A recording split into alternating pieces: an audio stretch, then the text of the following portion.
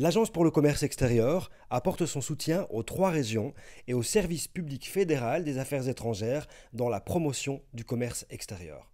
Elle offre un forum où se rencontrent les compétences fédérales en matière de politique internationale et les compétences régionales en matière de commerce international.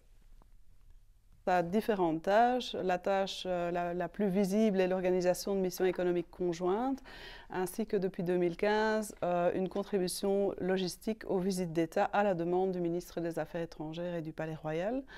Euh, ça, c'est un premier volet d'activité et ce, type de missions et de visites d'État ont lieu quatre fois par an, deux missions, deux visites d'État. Et par ailleurs, nous avons un centre d'information qui diffuse des statistiques liées au commerce extérieur, euh, qui publie des études économiques, sectorielles, un service réglementation et nous envoyons également aux entreprises des opportunités d'affaires à l'international. Euh, l'agence, c'est deux missions économiques, deux visites d'État chaque année. Euh, ce sont des centaines de notes statistiques qui sont diffusées, quatre études qui sont diffusées chaque année et des milliers d'opportunités d'affaires diffusées auprès des entreprises.